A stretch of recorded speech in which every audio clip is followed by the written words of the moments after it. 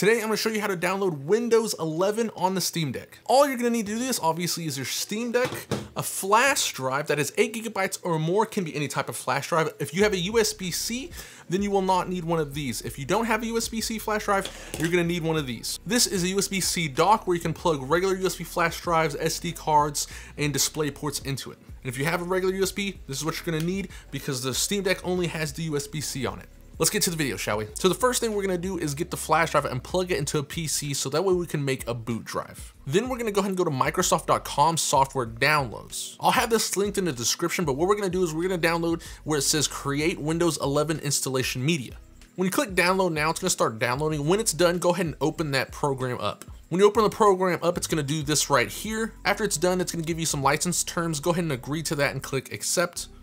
It's then going to pop up saying select language. In addition, you can click on use recommended settings and click next. On which media to use, make sure it's clicked USB flash drive and then hit next. And when you select your USB flash drive, make sure you select the flash drive that you're going to use, the little 8 gigabyte flash drive, because it might show your other solid state drives or hard drives connected to your computer.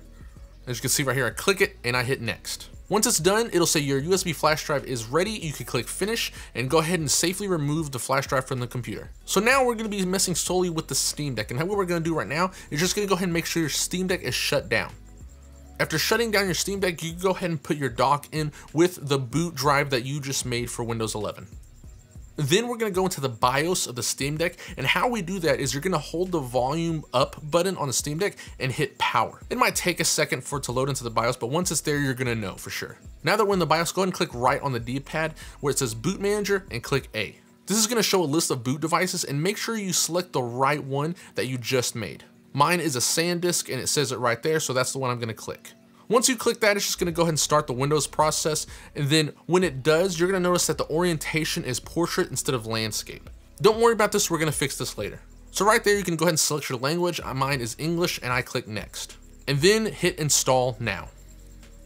And this is gonna take a little bit, but once it's done, you're gonna have this screen right here. Now you don't have to worry, you don't need a license key to do this. All you have to do is right on the bottom right there, click I don't have a product key. Then it's gonna go ahead and show you which Windows system you wanna have. You can have Windows 11 Pro if you want to. I went with Windows 11 Home. Then it's gonna ask you to accept the license term. You can say I accept and then click next. And on this part where it says which type of installation do you want, click custom. This is gonna show you drive partitions and what you're gonna do now is just gonna click on the ones that say primary and just start deleting them. Eventually when you delete all of them, it's just gonna have one drive partition and go ahead and click on that and click next. Now Windows is installing. Once it's done, it's just gonna go into the basic Windows setup things. This is more personal preference for everyone. So you can go ahead and go through this, sign into Windows, do what you gotta do. But I will say, it gives me the option, I don't know if it gives everybody the option, but it gives me the option to sign into Wi-Fi. Now, if it doesn't give you the option to sign into Wi-Fi, you're gonna have to download the Wi-Fi drivers on a different computer and install them. But I'm gonna go ahead and show you how to get the drivers after this anyways. But first, let's go ahead and fix the portrait orientation. What we're gonna do is we're gonna go hit the Windows icon and click on the settings button up up top. Now, once we're in the settings, we're just gonna go ahead and scroll down to where it says display. You're gonna click display, you're gonna scroll down. Once you see display orientation, you're just gonna go ahead and click that and click landscape. Make sure to keep the changes and now we're in regular orientation. From here, you can go ahead and open up Microsoft Edge and search Steam Deck Windows drivers. From here to bring you to this page, you go ahead and click on Steam Deck Windows Resources, and these are the list of drivers that you're gonna download and install. Make sure to download every single one of these you see right here. Once they're done, you can go ahead and open up your downloads folder, and what we're gonna do is we're gonna go ahead and extract each one of them and then install them. The first one I'm gonna extract is the APU driver, it's this one right here, because this is gonna allow me to use my Elgato so that way we can see the screen better.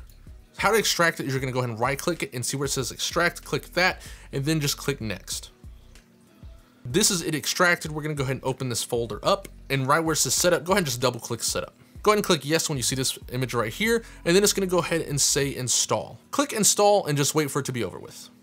The next driver I'm updating is the Wi-Fi driver. It's the one that says WLAN and again, we're just gonna right click, extract, and then open up that extracted folder. You just keep on double clicking, find where it says setup and double click setup, and it'll lead you to the install process.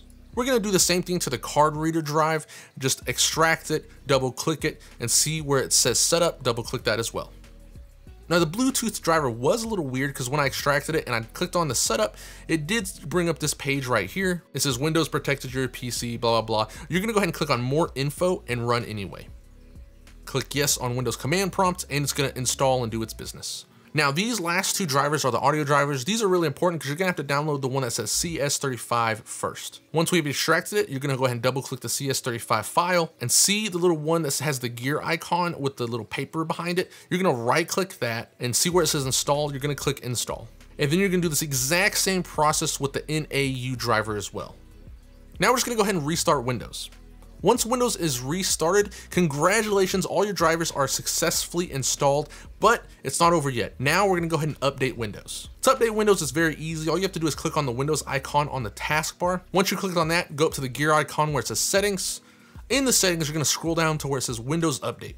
Once you're there, click check for updates. From here, just wait for everything to download and install. Once it's done, click restart. Once that's done, go ahead and double check to make sure it's gonna install again. Do the same thing, go to settings, Windows Update, and check for updates. As you can see right here, mine still had one more update, even though I updated it again, but just make sure it's all up to date. And once that's done, congratulations, Windows is successfully installed and completely updated to run on the Steam Deck. Now you can go ahead and install Steam, Battle.net, Epic Game Stores, the Minecraft launcher, whatever you want to. If you enjoyed this video or if you have any questions, comment down below, like and subscribe. I'll see you next time.